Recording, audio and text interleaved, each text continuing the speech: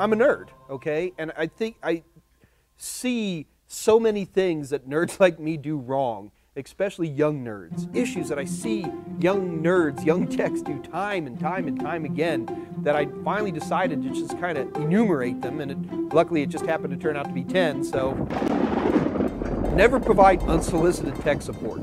The problem is, is especially when you come out of a great course like uh, LearnKey's A Plus course, you're, you're full of energy. You know, you're, you're, you're like an evangelist. You want to tell the world, and you're like, you know, and you want to come out there and help them. Here, let me tell you about all hard drives. Only two things will come out of that, all right? Either number one, you're wrong and you're going to make a nuisance out of yourself and you're going to look like an idiot.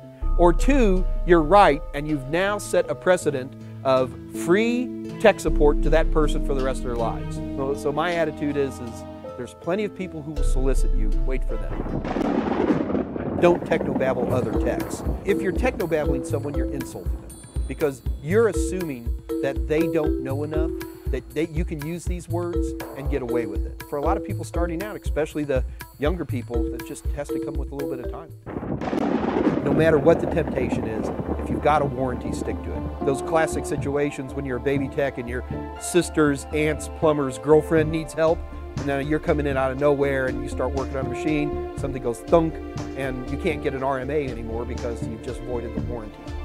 Don't do it. Been there, bad idea bringing up the baby techs to help them out and to pass it forward is, is critical. A lot of times baby techs, you know, they're just like this swarm of little people and they all talk to each other and everything. But over time, as they begin to specialize, they recognize that in and of their specialty is job security, you know, is better pay. And it's a bad habit that techs have, and even I've done this sometimes, is where I tend to want to, what really makes job security is good networks. And bringing up the baby techs to help them out and to pass it forward is, is critical.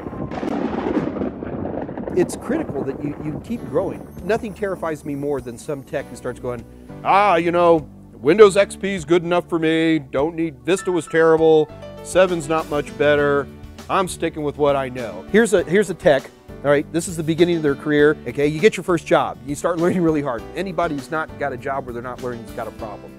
And then all of a sudden it starts to go like this. It starts to flatten out because you've built up the skill set you're going to be able to get from that job. A good tech, in my opinion, will move when that happens.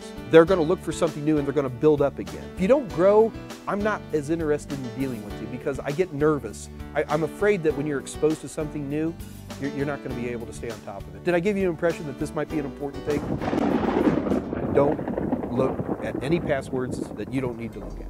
You know, as a tech, you get the keys to the kingdom. You know, I mean, if somebody from accounting is in sales, you know, people are going to be looking up over their cubicle and going, hey, why is Joe from accounting here? But Mike from IT, eh, I'm just working on somebody's computer, right? So what happens is we want to become the gatherers of security. We just do it by default. And you know, it, you want to grab this password, you get this key, you start grabbing this and that, and people will give it to you.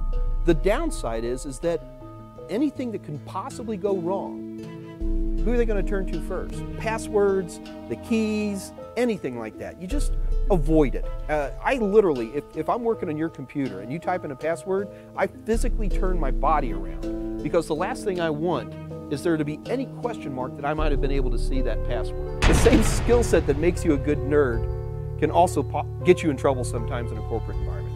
It's just the nature of the beast. Luckily, 95% of the time you end up getting your knuckles rapped and you know you cower back down and you're okay. But 5% of the time, I've, I've seen people go to prison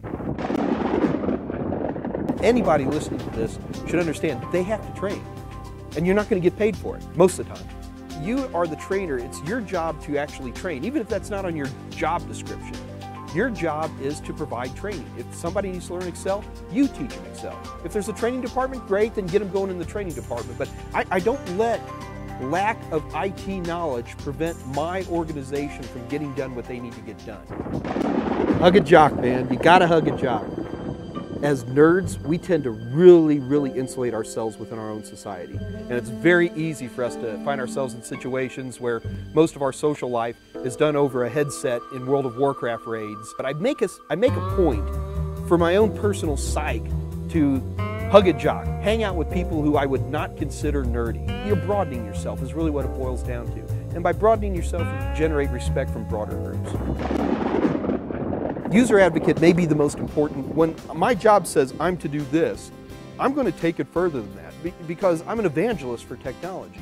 And I'm going to become what I call a user advocate. How many people still have index cards or worse than that, post-it notes you know, all over the place? It's not that hard to teach people how to do some basic application stuff to allow them to organize themselves. User advocate requires you as a tech to begin to understand the business of your organization as a nerd, it's easy for me to just swap hard drives. Do you understand? I don't necessarily have to become into the shipping business or, you know, making ice cream or whatever the organization is that's hiring. I don't agree with that. My job, once I get in there, is to understand the entire business.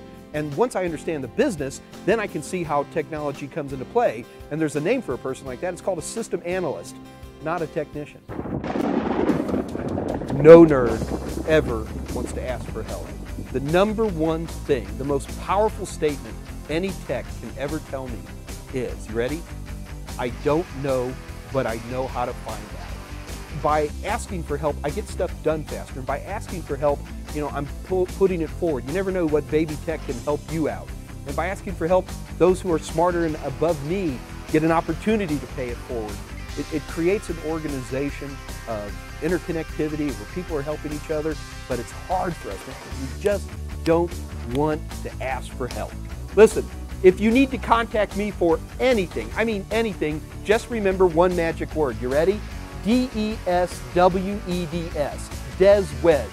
And when you type it with one finger on your left hand, you'll see why I use that name. I'm Des Weds at everything. Just type in Des Weds.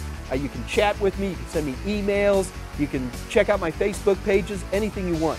If you do that, I will contact you back and I will give you lots of extra information, good stuff, good people to communicate with, and it's absolutely critical. And by the way, get your instructor to contact me too, okay?